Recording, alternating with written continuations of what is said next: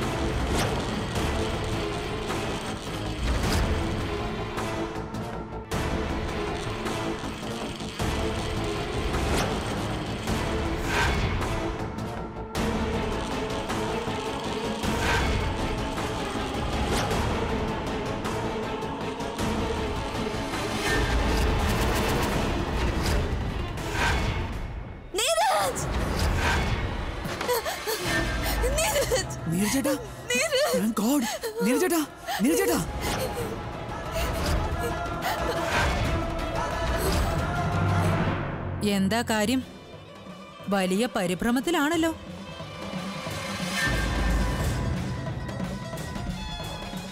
ചെറുമകന്റെ phone വന്നില്ലേ? നിങ്ങൾ തന്നെയല്ലേ പറയാറ് നിങ്ങളുടെ എല്ലാ കാര്യത്തിലും അമ്മയുടെ കരങ്ങളാണെന്ന്? വിശ്വസിക്കൂ. അമ്മ സ്വന്തം ഭക്തരെ ഒരിക്കലും നിരാശരാക്കില്ല. എന്തു വിധിയാണോ ആഗ്രഹിക്കുന്നത്? അവളുടെ വിധി അങ്ങനെ തന്നെ ആയിരിക്കും പക്ഷേ അല്പം ക്ഷമ കാണിക്കൂ.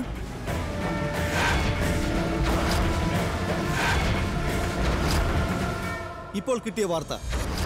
മുംബൈയിലെ കല്യാണി സൊസൈറ്റിയുടെ ജന്മാഷ്ടമി ഉത്സവത്തിനിടയിൽ ഒരു ബോംബ് സ്ഫോടനമുണ്ടായി. സ്ഫോടനത്തിൽ മരിച്ചവരുടെ എണ്ണം സ്ഥിരീകരിച്ചിട്ടില്ല. നിരവധി പേർക്ക് പരിക്കേറ്റിട്ടുണ്ട്. പരിക്കേറ്റവരിൽ പലരുടെയും നില ഗുരുതരമാണ്.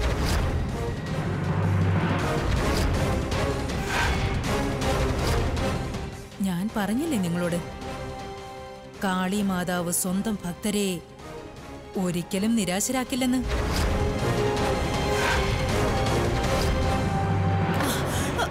ടില്ലു എന്റെ ടില്ലുവിന് എന്ത് പറ്റി എന്റെ ടില്ലുവിനെങ്കിലും ഇല്ല ഒന്നും സംഭവിച്ചിട്ടില്ല. വേഗം അവന് ഫോൺ ചെയ് പ്രകാശ്. വേഗം. ഒന്നും സംഭവിക്കില്ല. ഇല്ല വേഗം വിളിക്ക. എന്താ ഇത്? ഒന്ന് വേഗം വിളിക്ക പ്രകാശ്. പെട്ടെന്ന് വാ. ഏട്ടാ എന്ത് പറ്റി ഏട്ടാ? നീരജ് എന്ത് പറ്റി? ഏട്ടാ ഒന്ന് എഴുന്നേൽക്കൂ. നീരജ്. എന്ത് പറ്റി? നീരജ്. ഒന്ന് എഴുന്നേക്കൂ എഴുന്നേക്കൂ ചേട്ടാ എഴുന്നേക്കൂ ഞാൻ ഞാൻ ആംബുലൻസ് വിളിച്ചോണ്ട് വരാം. വേഗം വിട്ടിട്ട് വേഗം. നീരജ് പ്ലീസ് എന്റെ തെറ്റിന് ഇത്രയും വലിയ ശിക്ഷ വേണ്ട. I am sorry Neeraj please അയ്യോ ചോര അമൻ വേഗം പോയി കുറച്ച് വെള്ളം എടുത്തിട്ട് വാ. നീരജ്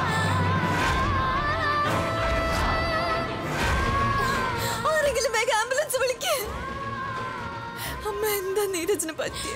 അവനെ ഉണ്ട് പക്ഷെ വളരെ സ്ലോ ആണ്. ഇടി ഇടി എന്താ ഇതുവരെ വരാത്ത?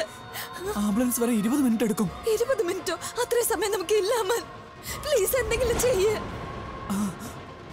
നീരജ് എഴുന്നേക്ക്.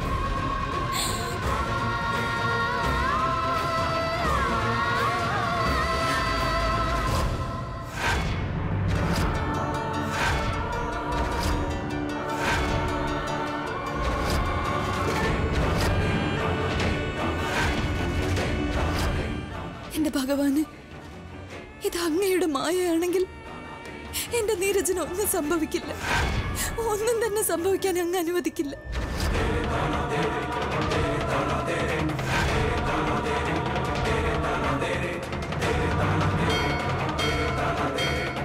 ഭഗവാന് ഞാൻ എനിക്ക് വേണ്ടി അങ്ങയോട് ഒന്നും ആവശ്യപ്പെട്ടിട്ടില്ല. പക്ഷെ ഇന്ന് എന്റെ നീരജിന്റെ ജീവൻ രക്ഷിക്കൂ പ്ലീസ് എന്തെങ്കിലും ചെയ്യൂ. പ്ലീസ് എനിക്കൊരു വഴി കാണിച്ചു തരൂ.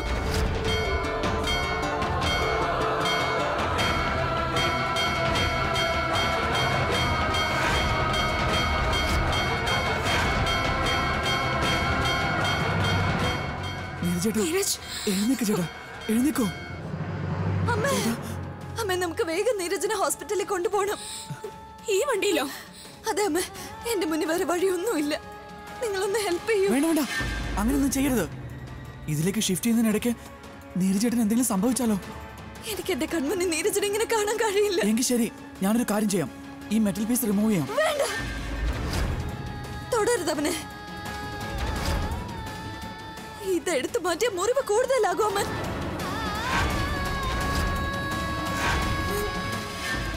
അഥവാ നീരജ് രക്ഷപ്പെട്ട ഞാൻ അച്ഛമ്മയോട് എന്തുത്തരം പറയും? ഞാൻ തന്നെ എന്തെങ്കിലും ചെയ്തേ പറ്റൂ. ടി വിയിലെ ന്യൂസ് ഞാൻ കണ്ടു. പക്ഷെ എനിക്ക് നിന്റെ വായിൽ നിന്ന് കേൾക്കണം അതുൽ. അച്ഛമ്മേ ബോംബ് സ്ഫോടനം ഉണ്ടായി. പക്ഷേ നീരജ് ഇപ്പോഴും ബോധമില്ലാതെ കിടക്കുകയാണ്. അയാളുടെ ഹൃദയം ഇപ്പോഴും മിടിക്കുന്നുണ്ട് അച്ഛമ്മേ ഇപ്പോഴും എന്തെങ്കിലും ചെയ്യുന്നത് ബുദ്ധിമുട്ടാണ് അച്ഛമ്മേ പിന്നെ ആ അവനി അവൾ അവന്റെ കൂടെ തന്നെയുണ്ട് പക്ഷെ അച്ഛമ്മ ഒന്നുകൊണ്ടും പേടിക്കണ്ട. ഞാൻ അവനെ ജീവനോടെ വിടില്ല. ഐ പ്രോമിസ് ഞാൻ അച്ഛമ്മയെ തോൽക്കാൻ അനുവദിക്കില്ല. ഞാൻ അവനെ ശ്വാസം ഉണ്ടെന്ന് കണ്ടപ്പോൾ തന്നെ ജീവൻ എടുക്കാൻ തുടങ്ങിയതാണ്. പക്ഷേ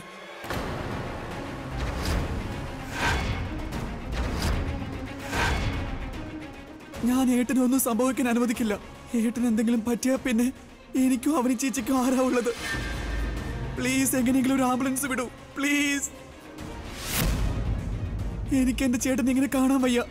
അതുകൊണ്ട് ഞാൻ ഹോസ്പിറ്റലിലേക്ക് ഫോൺ ചെയ്തത്. നീരജിനൊന്നും സംഭവിക്കില്ല അമ്മൻ വെറുതെ സമയം കളയാതെ വേഗം വന്ന് അവനെ ഹോസ്പിറ്റലിൽ എത്തിക്കാൻ നോക്കുവാ കാര്യങ്ങൾ വീണ്ടും വഷളാകുകയാണല്ലോ.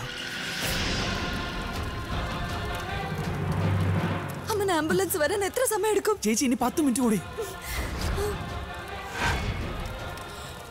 മാറ്.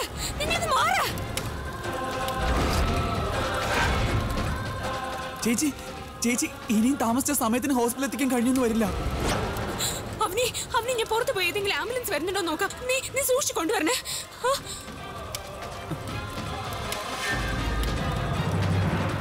അമ്മൻ അമ്മൻ താഴെ നോക്ക്. എന്തോ കല്ല് കുടുങ്ങിയിട്ടുണ്ട്.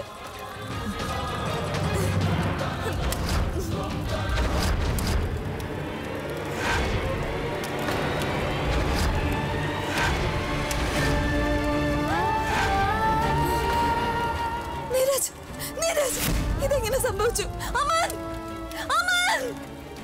നീരജ് കണ്ണു നിറക്കും നീരജ് നീരജ് നീരജ് അമൻ അമൻ ഇത് കണ്ടോ ഇത് കണ്ടോ?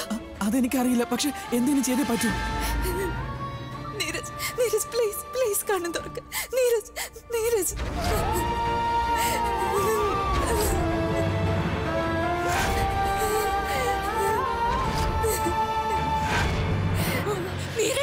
അമ്മ ബ്ലീഡിങ് നിൽക്കുന്നില്ല. എനിക്ക് എന്ത് ചെയ്യണമെന്ന് അറിയില്ല അമ്മ എനിക്കറിയില്ല. നീരജിനെ നമ്മൾ രക്ഷിക്കും. ഒന്നും സംഭവിക്കില്ല അവന്. മനസ്സിലായോ? ഒന്നും സംഭവിക്കില്ല.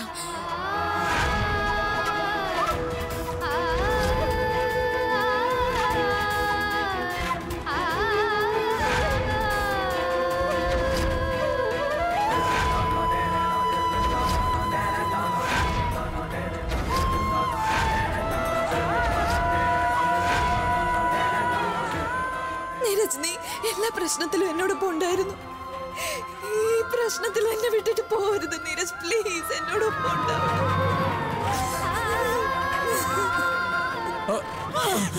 മോനെ.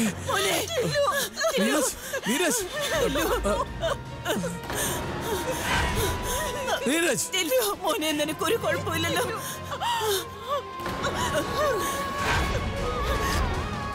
പ്രകാശേട്ടാ പ്രകാശേട്ടാ എന്റെ മോൻ.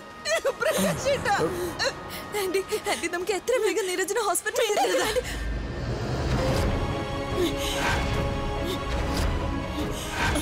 ശബ്ദിച്ചു പോവരുത്. നീ കാരണോ എന്റെ മോൻ ഈ അവസ്ഥയിലായത്? ഉണ്ടായ എല്ലാ പ്രശ്നങ്ങൾക്കും കാരണം നീ ഒറ്റ ഒരുത്തിയാ. നീ കാരണം ടിലുവിന് ഈ അവസ്ഥ വന്നത്? ഇങ്ങനെ മുന്നിൽ വന്ന് നിൽക്കാൻ എങ്ങനെ സാധിക്കുന്നു? ഒരു അക്ഷരം. വേഗം ഹോസ്പിറ്റലിൽ എത്തിക്കാം. ഒന്ന് ഫോൺ ചെയ്ത് ആംബുലൻസ് വിളിക്ക്. ഞാനിപ്പോ വിളിക്കാം. സ്വന്തം അച്ഛനമ്മമാരെ നഷ്ടപ്പെടുത്തി നീരജിന്റെ ജീവൻ എടുക്കാൻ വന്നിരിക്കുകയാണോ? മതിയാക്കി ശ്വേത സംസാരിക്കാൻ സമയമില്ല. ടിലു, എന്തെങ്കിലും ഒന്ന് ചെയ്യ്. അങ്കിൾ ആംബുലൻസ് വന്നു. സൂക്ഷിച്ച് അതിലേക്ക് മാറ്റണം. വേഗം വരൂ. വേഗം പെട്ടെന്ന്. സൂക്ഷിച്ച്. കാരണോ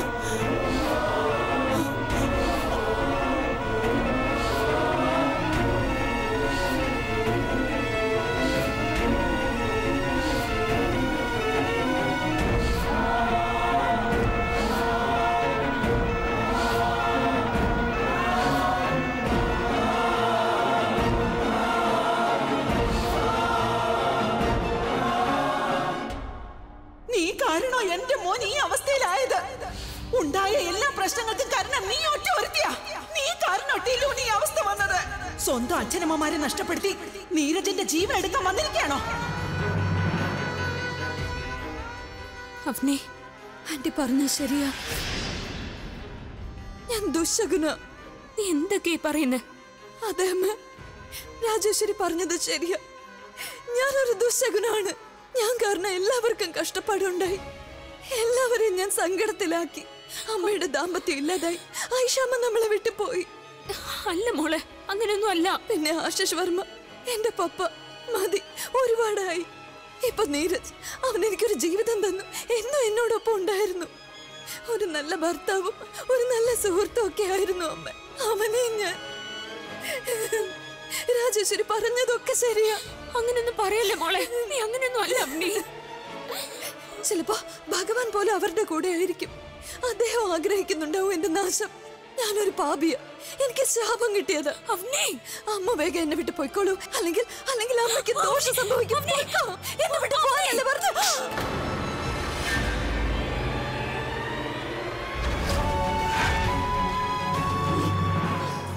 നീ ദുശകനും അല്ല അവനി. എന്റെ മകൾ ഒരു ദുശകനും അല്ല. ഇന്ന് കാര്യങ്ങൾ ഇതുവരെ എത്തിയത് അവനി. നീ ഉള്ളത് കൊണ്ടാ നീ ദുശകനുമായിരുന്നെങ്കിൽ നീരജ് ഇന്ന് ഹോസ്പിറ്റലിൽ എത്തില്ലായിരുന്നു എന്റെ ജീവിതവും എന്റെ വിവാഹവും നിന്റെ അമ്മയുടെ ജീവിതവും പിന്നെ ആശിഷ് വർമ്മയും നീയല്ല. ആ രാജേശ്വരി വർമ്മയെ ഇല്ലാതാക്കിയത്. ഇതൊക്കെ അറിഞ്ഞിട്ട് നീ പറഞ്ഞല്ലോ മോളെ നീ ദുശകനുമാണെന്ന്. നീ തളർന്നു പോയാ ആ രാജേശ്വരി വർമ്മ നിന്നെ തോൽപ്പിച്ച് ജയിക്കും മോളെ. നീ അങ്ങനെ സംഭവിക്കാൻ അനുവദിക്കരുത്. മനസ്സിലായോ? നീ ഒരു ദുശകനും അല്ല എന്റെ അവനി. നീ ഒരു വലിയ തപസ്യയുടെ ഫലമാണ് മോളെ.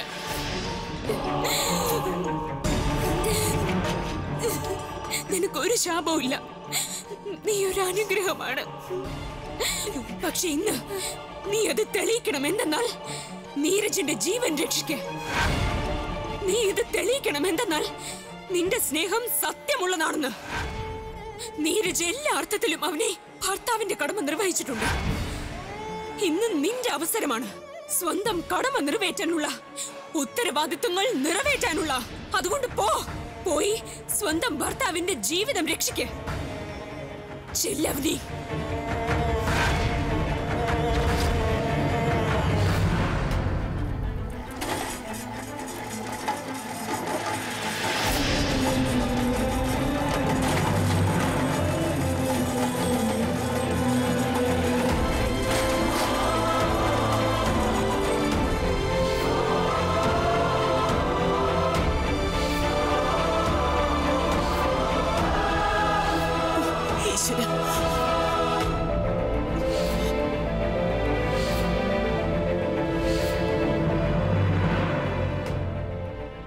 ഡോക്ടർ? ഞങ്ങളുടെ ഭാഗത്തുനിന്നും പരമാവധി ശ്രമിക്കുന്നുണ്ട്. പക്ഷേ പേഷ്യന്റിന്റെ അവസ്ഥ വളരെ മോശമാണ്. ലിവർ സ്പെഷ്യലിസ്റ്റ് വന്ന് പൂർണമായി എക്സാമിൻ ചെയ്യാതെ ഞങ്ങൾക്കൊന്നും പറയാൻ പറ്റില്ല. നിങ്ങൾ ദൈവത്തോട് പ്രാർത്ഥിക്കും. ഒന്ന് വെയിറ്റ് ചെയ്യ്. എക്സ്ക്യൂസ് മീ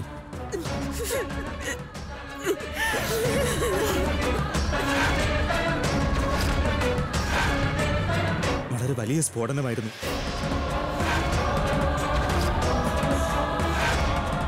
ചേട്ടത്തിയുടെ ശ്രദ്ധ പെട്ടെന്ന് അതിൽ പതിഞ്ഞതുകൊണ്ട് നീരജ് സാറിനെ അവിടെ നിന്ന് ദൂരേക്ക് മാറ്റാൻ സാധിച്ചു.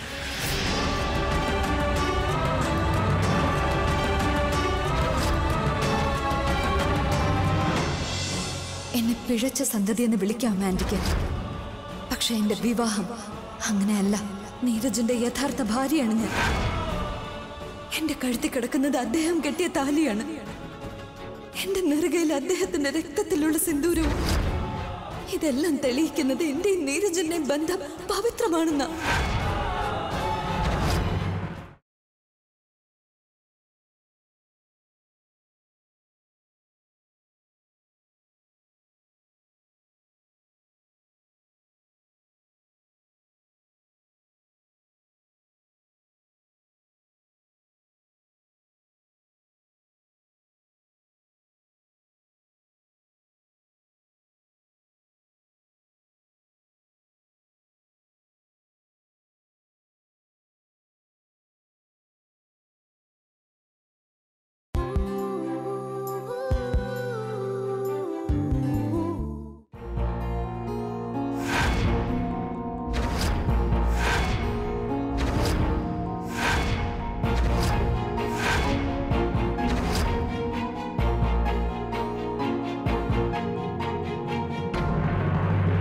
പവിത്രമാണെന്നാ കണ്ടില്ലേ?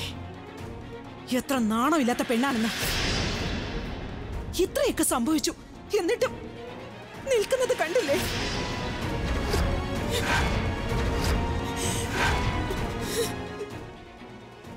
ഡോക്ടർ നീരജിന് ഇപ്പൊ എങ്ങനെയുണ്ട്? നോക്കൂ അയാളുടെ ലിവറിന് കാര്യമായ ക്ഷതമുണ്ട്. നമുക്കൊരു സർജറി ചെയ്യേണ്ടി വരും.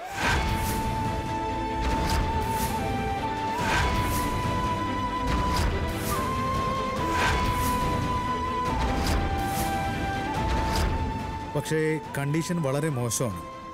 അതുകൊണ്ട് നമുക്ക് അയാളെ ഇരുപത്തിനാല് മണിക്കൂർ ഒബ്സർവേഷനിൽ വെക്കേണ്ടി വരും. Excuse me.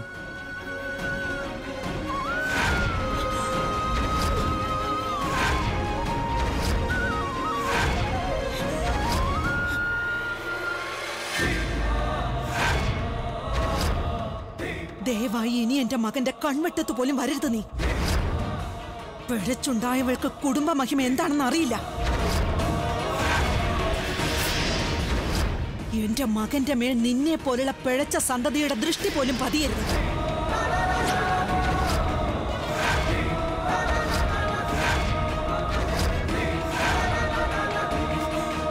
ഇറങ്ങിപ്പോയി വിടുന്ന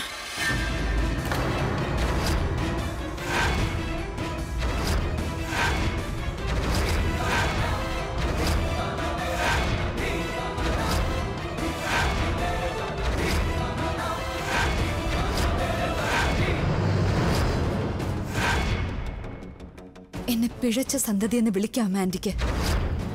പക്ഷെ എന്റെ വിവാഹം അങ്ങനെയല്ല. നീരജിന്റെ യഥാർത്ഥ ഭാര്യയാണ് ഞാൻ.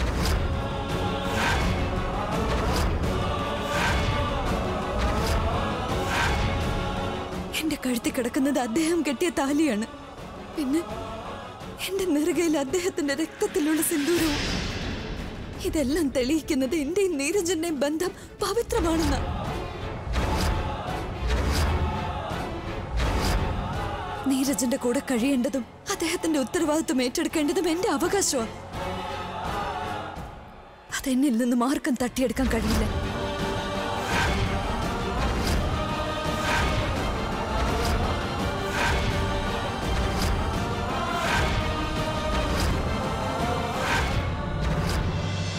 എല്ലാ പെൺകുട്ടികളെയും പോലെ എനിക്ക് സ്വപ്നങ്ങളുണ്ടായിരുന്നു ശ്വേതാജി. ഭർത്തൃ വീട്ടിൽ നിന്ന് സ്നേഹം കിട്ടുന്നതിനായി. ഭർത്തൃവീട്ടിൽ നിന്ന് സ്നേഹത്തിന് പകരം എനിക്ക് കിട്ടിയത് എന്തായിരുന്നു? അത് നിങ്ങൾക്ക് നന്നായിട്ട് അറിയാവുന്നതല്ലേ? പിന്നെ ഇവക്ക് ഒരുപാട് പ്രായമൊന്നും ഉള്ളപ്പോഴല്ല എന്റെ കൈ പിടിച്ചത്? ഇനി രാജേശ്വരി വർമ്മ മിണ്ടാതിരുന്ന് ഒളിയമ്പുകൾ അയക്കും. ആ സമയം വരുമ്പോൾ ഈ ജോലി ഞാൻ തുടരുക തന്നെ ചെയ്യും.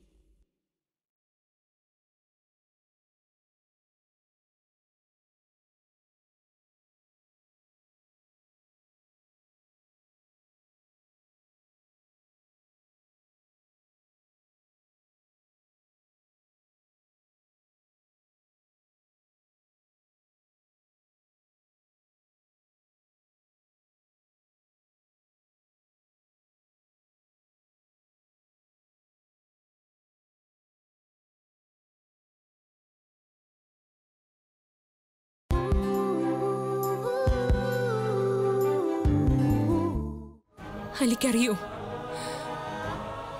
സാവിത്രി സ്വന്തം ഭർത്താവിന്റെ ജീവന് വേണ്ടി യമരാജനോട് പോരാടിയിരുന്നു. ഒരുപാട് കഷ്ടപ്പെട്ട് മരണത്തിൽ നിന്നും സത്യവാനെ രക്ഷിച്ചു. യമരാജന് സ്വയം പരാജയം സമ്മതിക്കേണ്ടി വന്നു. സാവിത്രിയുടെ സിദ്ധിക്ക് മുമ്പിൽ സ്വന്തം ലക്ഷ്യം ഉപേക്ഷിക്കേണ്ടി വന്നു. അതുപോലെ ഇവിടെയും. നീന നിങ്ങൾ.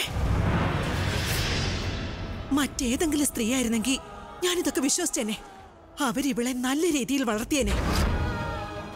പക്ഷേ ഇല്ല. ഭർത്താവിന്റെ വീട്ടുകാരെ എങ്ങനെയൊക്കെ ബുദ്ധിമുട്ടിക്കാമെന്ന് ചിലപ്പോ ഇവൾ നിങ്ങളിൽ നിന്നാകും പഠിച്ചത്.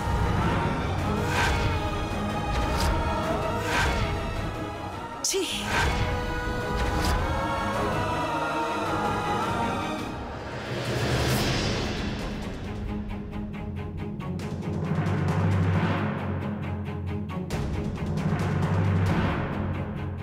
എല്ലാ പെൺകുട്ടികളെയും പോലെ എനിക്ക് സ്വപ്നങ്ങളുണ്ടായിരുന്നു ശ്വേതാജി.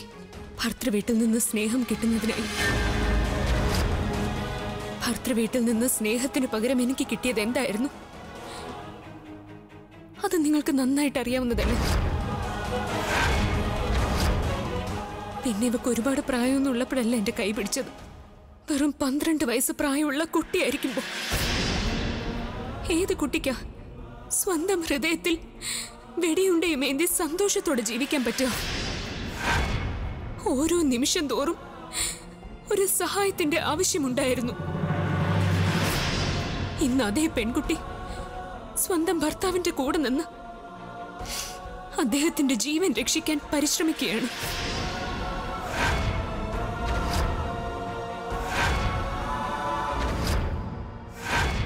നിങ്ങൾക്കിപ്പോ എന്ത് വേണമെങ്കിലും പറയാൻ നീന? കാരണം ഈ സമയത്ത് ഈ സമയത്ത് എന്റെ മകൻ അവൻ അവിടെ ജീവന് വേണ്ടി മല്ലടിച്ചുകൊണ്ടിരിക്കുക. എന്റെ മകന്റെ ഈ അവസ്ഥയ്ക്ക് കാരണം ഇവൾ മാത്രം. അല്ല ശ്വേത എന്ത് സംഭവിച്ചിട്ടുണ്ടെങ്കിലും അതിൽ അവനിയുടെ ഒരു തെറ്റുമില്ല. തെറ്റുകാർ അവരാണ്. ആരാണോ ഇങ്ങനൊരു ദിവസം ഇങ്ങനൊരു പുണ്യ ദിവസം നോക്കി ഭഗവാന്റെ പൂജ നടക്കുന്നിടത്ത് നിരപരാധികളായ ആളുകളുടെ ജീവൻ എടുത്തവർ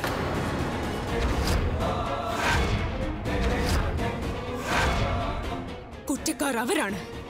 ശിക്ഷ കൊടുക്കണമെങ്കിൽ അത് അവർക്കാണ് കൊടുക്കേണ്ടത്. അല്ലാതെ എന്റെ കുട്ടിക്കല്ല കിട്ടേണ്ടത്. ഈ ദുപ്പട്ട ആരുടേതാണ്? പേഷ്യന്റിന്റെ ശരീരത്തിലുണ്ടായിരുന്നത്. ഈ ദുപ്പട്ട ഏട്ടത്തിയല്ലേ കെട്ടിക്കൊടുത്തത്?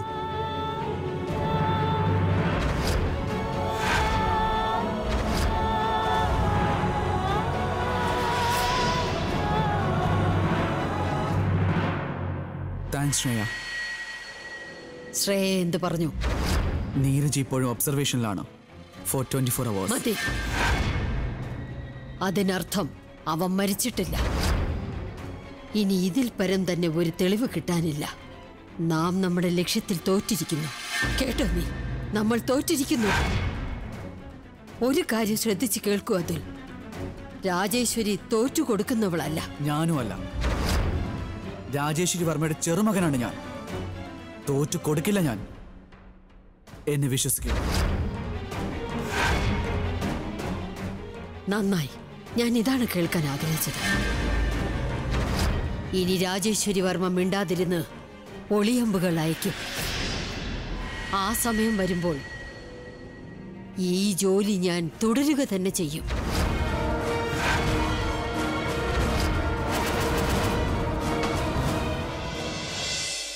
ചെറിയൊരു വേദന.